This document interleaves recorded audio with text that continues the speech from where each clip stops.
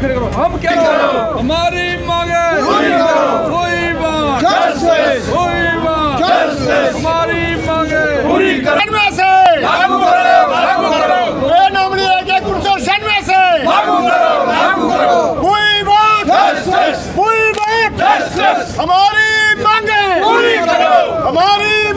پوری کرو Jeet Singh non gazetted police pensioner welfare forum کا چیئرمین بول رہا ہوں سر، ہمارے ساتھ جو ڈسکرمنیشن ہوا ہے، ایک ایک چھیانوے چھیانوے سے لے کر آج تک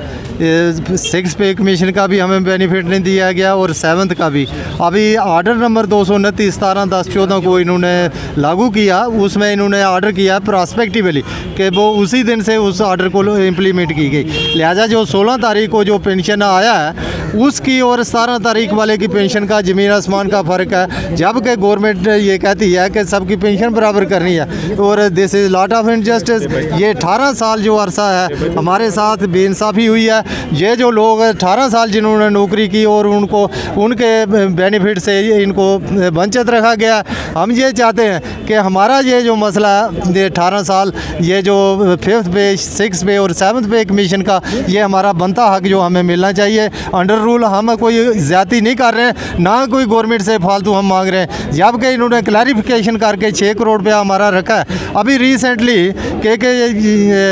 وجے کمار جی نے ایک آرڈر کیا تھا کہ بھائی جتنے ریٹائری ریٹائر ہوئے ہیں ایک ایک چھیانوے سے لے کر، ان کا پے نمبرنگ اور فائنینشیل اپلیکیشن ریزرویشن ان کا دے دو ابھی یہ چھ مہینے انہوں نے دفتر میں دبا کے رکھا تو لہٰذا اس طرح ڈھیلم ڈیلی جو چال